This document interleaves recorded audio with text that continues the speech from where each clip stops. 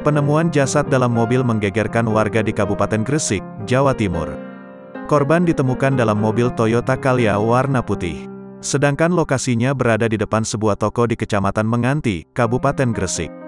Penemuan korban berawal dari kecurigaan warga. Mereka melihat mobil tersebut parkir di pinggir jalan selama satu jam. Anehnya, mesin mobil tetap menyala dan sopir di dalamnya tidak kunjung keluar. Kapolsek Menganti, AKP Tatak Sutrisna membenarkan kejadian ini. Ia mengatakan, korban ditemukan oleh seorang warga pemilik toko di lokasi kejadian. Diketahui identitas korban adalah Totok Agus Santoso, 57, warga Kelurahan Medokan Ayu, Kecamatan Rungkut, Surabaya. Berdasarkan informasi yang dihimpun, jasad korban ditemukan pada Senin, tanggal 30 Agustus tahun 2021, sekitar pukul 14 waktu Indonesia Barat. Saat itu, Saksi Siti Ngaisah yang sedang berada di tokonya melihat mobil Toyota Calya putih menepi. Kondisi tanda lampu riting kiri menyala, namun sekitar satu jam tidak ada yang keluar mobil.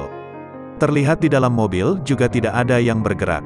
Karena curiga, Siti Ngaisah memberitahukan kepada saksi Joko untuk mendatangi kendaraan tersebut. Di dalamnya terlihat seorang laki-laki tidak bergerak masih duduk di kursi depan kemudi sendirian.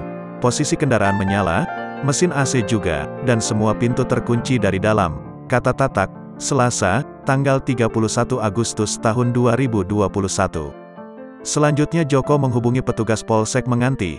Tidak berapa lama petugas tiba di lokasi.